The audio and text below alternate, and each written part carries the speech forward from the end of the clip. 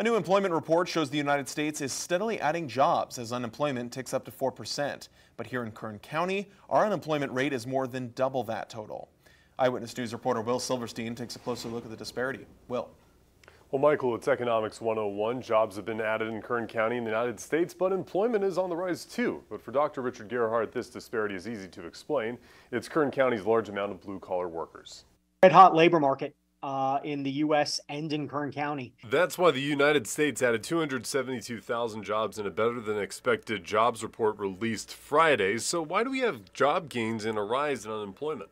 The way that the unemployment rate is calculated, that means that a lot of Americans are entering the labor market to look for jobs because they feel that now is the time to capture both the wage gains that they've made, offset inflation that we've been seeing, and just build up a little bit of a nest egg just in the case of some negative economic outcome. But here in Kern County, we have the fifth highest unemployment rate of all counties in California. Why is that?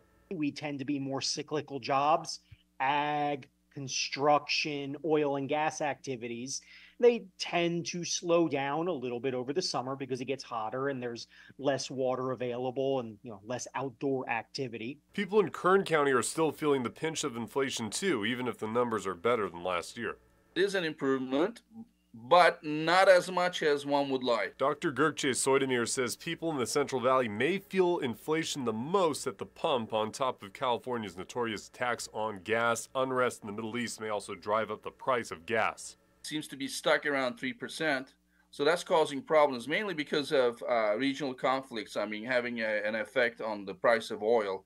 Gearhart says the increase in travel costs are likely not limited to gas. The professor expecting other travel and leisure activities to see less action this year if costs stay high or even increase. This summer is going to be a little bit hard on consumers' wallets. Hotel prices are rising, gas prices are rising, transportation costs are rising.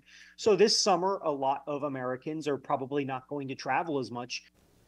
And the professor says those high costs include fast food, the industry restructuring employees and cutting hours to reduce the full effects of the minimum wage increases in California. Reporting in studio, Will Silverstein, Eyewitness News.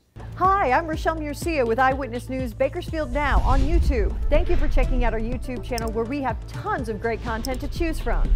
While you're here, go ahead and click on the subscribe button right there.